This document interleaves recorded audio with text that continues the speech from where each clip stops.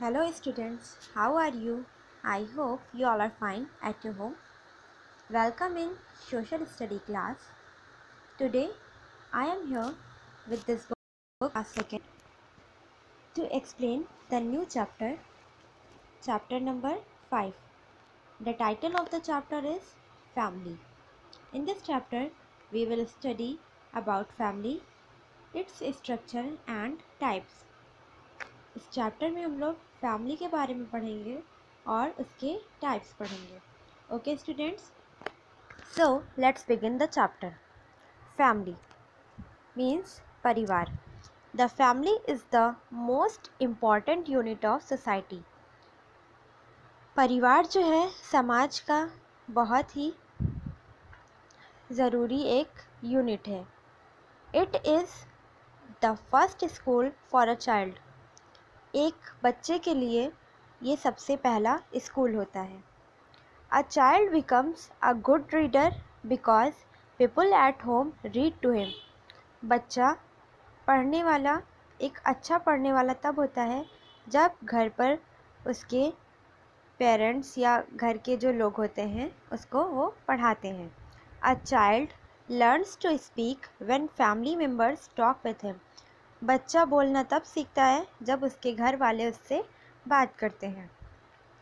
Young children learn many other things from older members of the family such as love sharing cooperation discipline etcetera जो बड़े बच्चे होते हैं, वो बहुत सारी चीज़ों को अपने बड़े लोगों से मीन्स पुराने जो बड़े लोग होते हैं, बूढ़े लोग होते हैं, उनसे जो है वो अपनी चीज़ों को लर्न करते हैं, बहुत सारी चीज़ों को वो याद करते हैं, उनसे सीखते हैं। जैसे कि लव मीन्स प्रेम शेयरिंग मीन्स बांटना। कोऑपरेशन सहयोग डिसिप्लिन मीन्स आदर या सम्मान और बहुत सारी चीज़ें। ये जो है, आप अपनी फैमिली से सीखते हैं।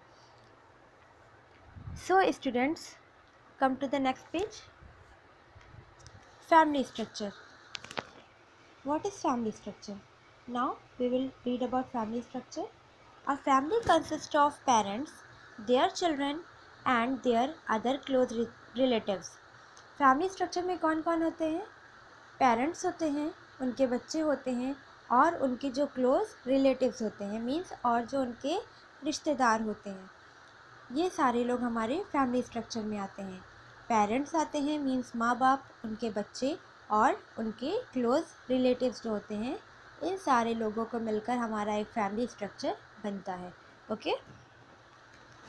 Kinds of family in India परिवार के अलग अलग प्रकार होते हैं तो हमारे इंडिया में कितने प्रकार हैं, इनके बारे में पढ़ते हैं। In India the following kinds of family are found हमारे इंडिया में बहुत सारी फैमिलीज़ पाई जाती हैं।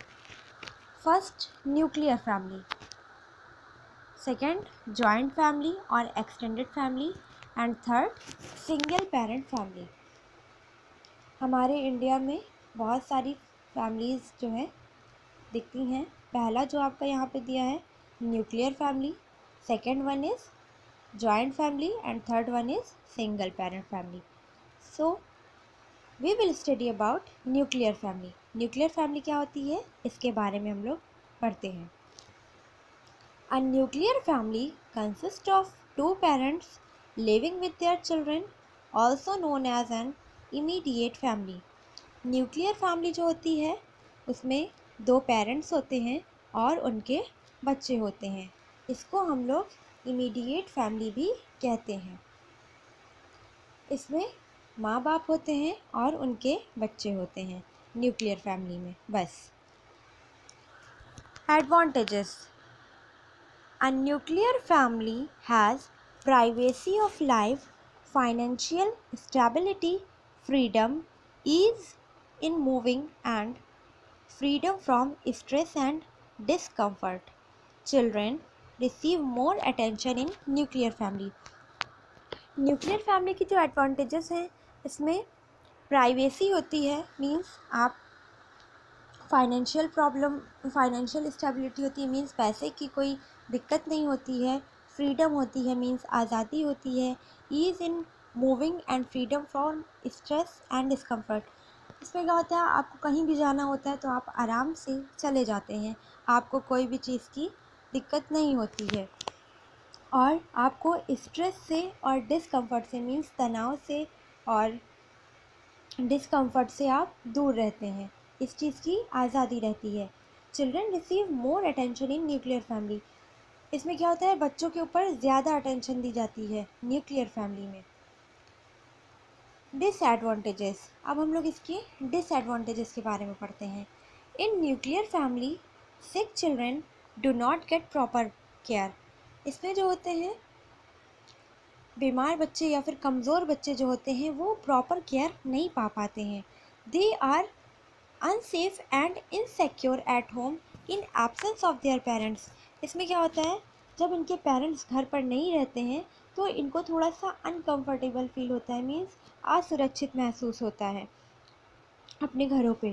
Parents to have to spend extra money on infants parents लोग को ज़्यादा पैसा खर्चा पड़, करना पड़ता है उनके बच्चों पर इन्फेंट्स पर, उनके मतलब नए बच्चों पर। When they are left in baby care home जब वो बेबी केयर होम पर लेके जाते हैं। Worst of all if there is a dispute between the parents इन सब चीज़ों के बाद जब पेरेंट्स के अंदर डिस्प्यूट होता है मीन्स झगड़े होते हैं या फिर कुछ आपसी तनाव होता है। There is no outsider available to Rin to reconcile them इसमें क्या होता है? बाहर के कोई लोग होते नहीं हैं ताकि उन लोग आपस में उनको समझा सकें। तो इससे बच्चों के ऊपर जो है बहुत बुरा असर पड़ता है। तो इसलिए ये सारी चीज़ें इनकी डिसएडवांटेजेस हैं। न्यूक्लियर फैमिली के एडवांटेजेस ये हैं कि आपको कहीं जाना हुआ या फिर कहीं कोई मतलब रहने की दिक्कत नहीं होती है डिस्कम्फर्ट नहीं होता है स्ट्रेस नहीं होता है, इन सारी चीज़ों को फ़ायदा होता है। लेकिन उसके साथ साथ इसके कुछ डिसएडवांटेजेस भी हैं कि आपको, जो बच्चा आपका वीक है, कमज़ोर है तो उसको आप प्रॉपर केयर नहीं दे पाते क्योंकि आप पूरे टाइम घर पे नहीं रहते हैं। बच्चों को उस टाइम अनसेफ लगता है। Okay students so about joint family और extended family and single family we will study in our next video. Okay students